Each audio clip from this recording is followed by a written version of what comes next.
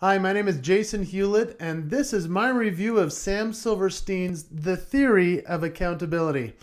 I really enjoyed this book because it helped me to see accountability in a new light.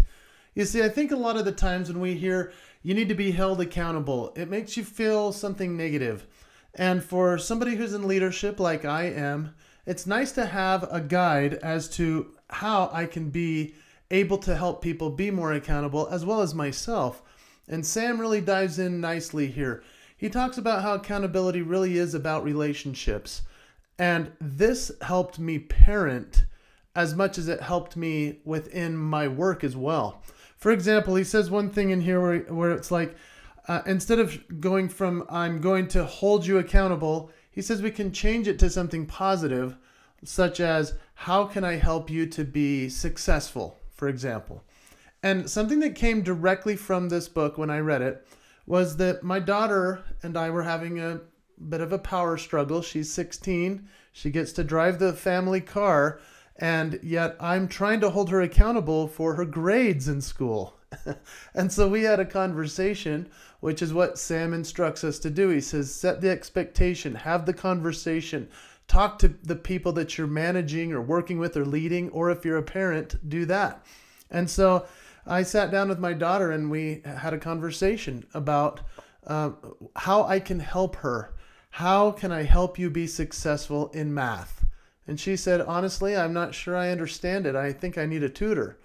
I said, If I get you a tutor, will you work hard to get your grades up so you can drive the car? She said, Yes.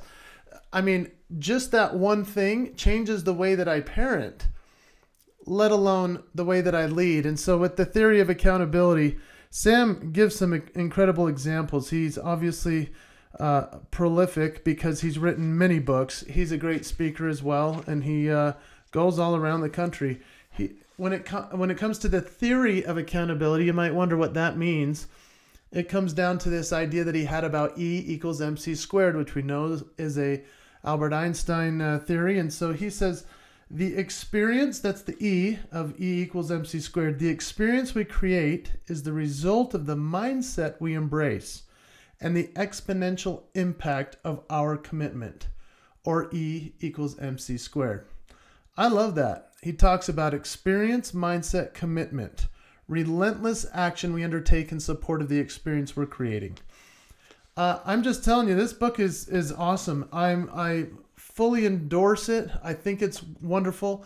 And uh, I hope that you'll check it out. It could change the way that you parent, it could change the way that you lead the people that you are leading at work. I give it five stars. Hope you'll give it a chance. Sam Silverstein, the master of accountability, the theory of accountability. Check it out. Thanks. I'm Jason Hewlett.